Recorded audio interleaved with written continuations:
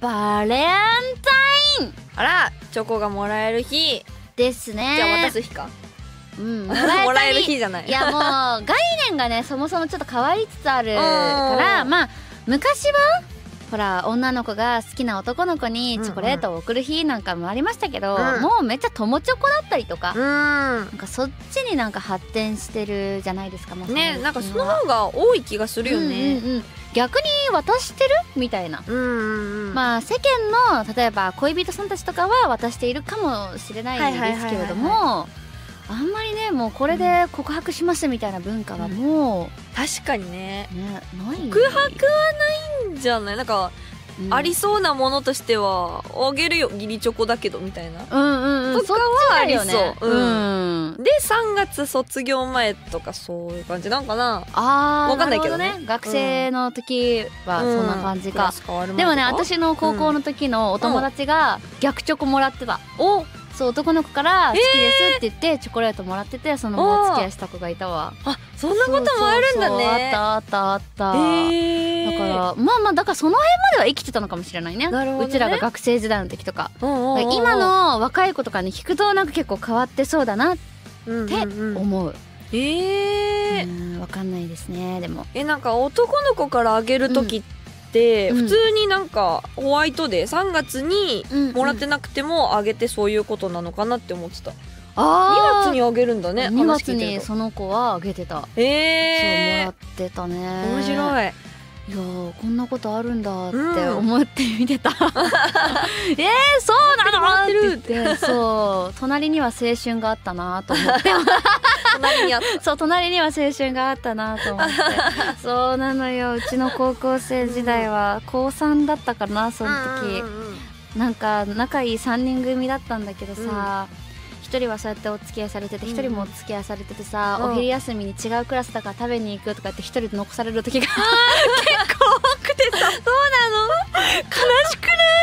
えー、でもなんか学校で付き合ってた人とかってなんか、あ私の学校はだけどあんまりうん。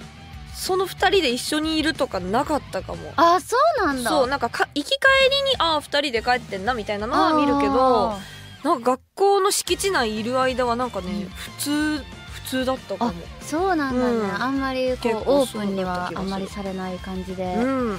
なるほどな。じゃあまあその子たちは結構ラブラブだったということかもしれないですね。あらそう切ない昼休みを過ごしたということで 私はまあ2月9日ということで、うん。チョコレートよりもやっぱ肉が欲しいかなって思いあます。食べたい。うんお肉食べたい、焼肉行こ焼肉！う肉食べたいよでも1ヶ月に1回ぐらい肉の日あるってことだね。そうだね、うん。2月。29日でもいい。そっか29日だったらいいのか、うんうん。じゃあ焼肉を食べたいと私は思います。はい。私も食べる。はい。みんなはチョコ派？肉派？ハッシュタグモネラジをつけてぜひつぶやいてね。はいそれでは始めていきましょう、ワンダルーガールズバンドパーティープレゼンツモニカラジオ今回もスタート。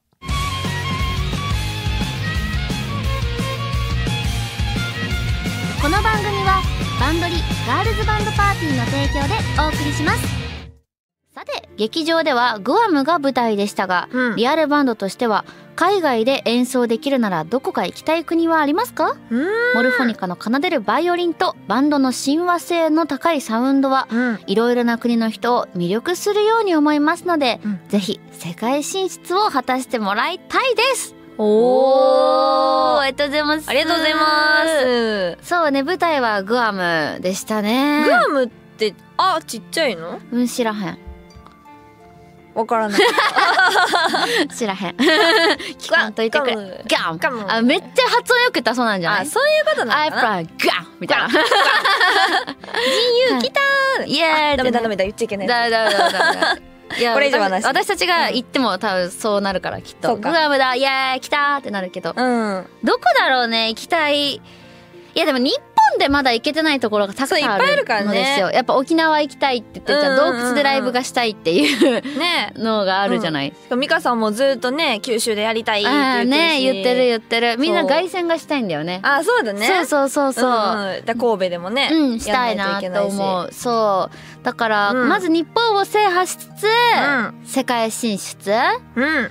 どこだろうね。えー、でもなんかギリギリシャとかヨーロピアンっぽい感じのイメージじゃない、なんか何が？モニカのイメージ？そんなことない。あわかんない。ミソロジーの柱のイメージかもしれないなんだっけパルテノン神殿みたいな。みたいうんなあの柱。はいはいはいはい、あはい、そこでライブしようじゃん。ああいいよいいよいいよ。世界遺産みたいなところでライブって、なかなかエモいよ。やばいよね。確かに。いないんじゃない？できたらやばい。すごいね、うん。えじゃあそのパルテノン神殿でライブするのと、うん。あとは何がいいかな？え何かどなこだろう？でもね私その海外行くと飛行機に乗らないといけないじゃない、うん飛行機長いのしんどいんだよね、うん。えー、ってなると？近場がいい。あれインドネシアだと何時間ぐらいなんだろう？インドネシアはそんな遠くないんじゃない？そうだよね確かに、うん。インドネシア。じゃあマーライオンに挟まれてやろうか。マーライオンはシンガポールじゃね？あれ？そうだよ。あそうだ。やばいよ。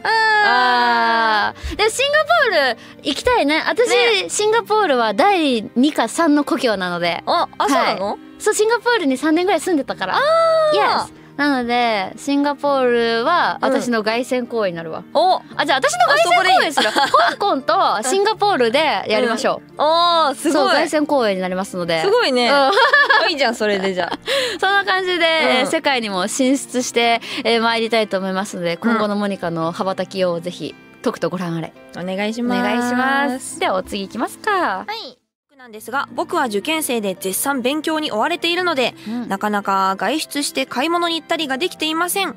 ですが妹がアニメイトに友達と行った際にモニカのリングノートを自腹で買ってきてくれました。うん。かっこ泣き。うん、渡してもらった時に受験頑張ってねって言って渡してくれました泣きました。泣くな。お二人は泣いてしまうほど驚いたりしたプレゼントとかはありますか？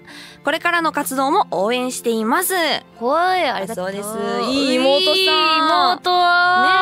え。えじゃあうちの妹の自慢もしていいか？あいいよ。あのね、あのー昔、ん。私が高校生の時に、うん。とあるアニメが好きで、もうでも、すぐたけってアニメが好きなの私しかいなかったの。そうなんだ。そうそう、妹とか全然興味なかったの。はいで、アニメイトっていう存在も知らなかった子なんだけれども、なんかあれ、高校、高校だったかな？私が大学だったかな？うん。とか行った時になんかあのアニメイトが近くにあったから買ってきたって言って、私の推しのキーホルダー買ってきてくれたの。おお、えと思って。いいじゃん。あんたえー、みたいな。あなただってアニメとか別に好きじゃないし、えこのキャラ知ってたの？みたいになって、うんうんうん。あそこのお店に入ったの？みたいな、ええすごい嬉しかったね。いいね。うん、うん、ほんとそううちの妹も買ってきてくれたんで。自慢です。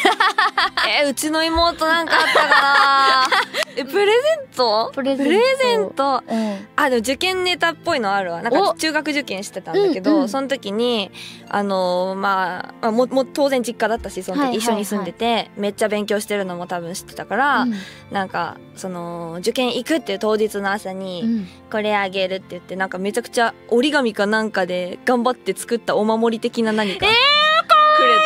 泣けるめっちゃセロテープ貼ってある、いいんだけど 何この尊い話。めっちゃ懐かしい。懐かしいね。うん。いいですよね。なんかやっぱ身内がさうん。妹とかって普段さ、うんうんうん。あんまりこうなんだろう頑張ってねとかっていう感じじゃないじゃない、ないね。ポジション的にもね、うんうんうん。そういう子がねたまにこうやってやってくれるのいいよね。たまに来るとねおね。おお ありがとうな。ありがとう。なるよね。なる。いやそういうプレゼントは嬉しいですよね。うん受験頑張ってくださいね。ね、うん頑張って本当うん風邪だけはひかないようにしてね。それ本当に大事本当にね頑張ってくださいませ。ではお次